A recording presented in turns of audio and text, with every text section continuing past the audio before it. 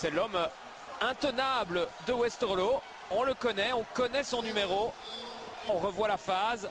Le centre de Menes. Et là, à nouveau, on laisse un peu trop faire hein, du côté du Brussels. Il a le temps de faire son petit geste technique et Neis ne peut sortir le ballon de sa lucarne. Même s'il était dessus, hein, il l'a touché.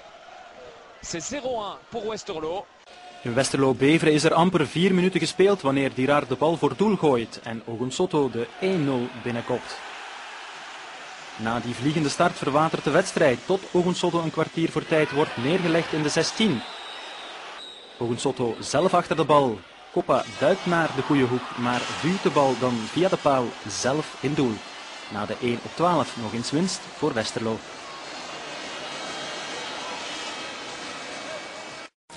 Na 11 minuten komt Westerlo op voorsprong. De bal wordt knap gedevieerd naar Ogun Soto en Westerlo leidt met 0-1. Voor de topschutter van Westel is het al zijn tiende goal in 11 wedstrijden. Ogun Soto kon naar de helft van de eerste klassers, maar koos voor Westerlo. Hetzelfde spelbeeld in de tweede helft. Na 12 minuten een vrije trap voor Westerlo. Doelman Lahey flatert en Ogun Soto laat dat geschenk niet liggen. Westerlo leidt met 0-2. Vijf minuten later komt Charleroi op 1-2. Een own goal van Korstjes die zijn doelman Gaspercic verrast. Westerlo komt nog onder druk, maar houdt stand en wipt naar de derde plaats in de rangschikking. De match gaat nu op en neer. Even later dolt Ogun Soto met zijn tegenstander de winnen. En ook een goed schot en een goede redding van Milojevic. Geen geluk voor Oguns, maar dan geeft Lokeren het alweer in cadeauverpakking weg. Geklungel op het middenveld. Utaka profiteert en ziet Ogun Soto. Die is sneller dan Milojevic en 3-1. Milojevic dit keer wel geklopt. De eerste goal van Ogun Soto. De goede paas van Utaka. En de snelle Ogun Soto en 3-1 voor Westerlo. En het verdikt wordt nog zwaarder voor Lokeren. Daar is Ogun Soto weer.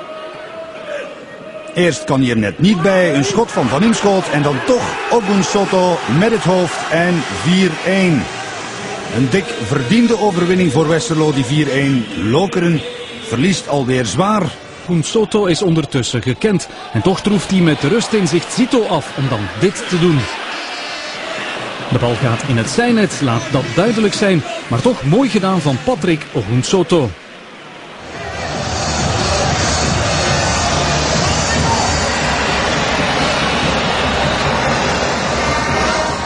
Heeft er veel zin in, Patrick Soto. Hij zal een hoofdrol spelen.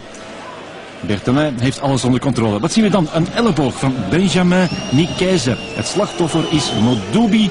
En er moet verzorgd worden zo'n vijf minuten aan de kant. Dan met 10 tegen 11 van vrij schop. Dirard vindt Patrick Oginsotto. 1-0 voor Westerlo. Het 15e doelpunt van de Nigeriaan in de 15e minuut. Goed getrapt van Dirard. Toch een beetje vrijheid voor Oginsotto. Goeie knik, 1-0 voor Westerlo. 10 minuten later, Jeff Kedele. Hij wordt foutief gestopt door Frederik G. En wat krijgen we dan? Dirard, Oginsotto en het staat 2-0 in de 25e minuut. Niet zo zuiver als het eerste doelpunt. Bertelijn kan er niet aan uit. Ja, een beetje rommelige fase.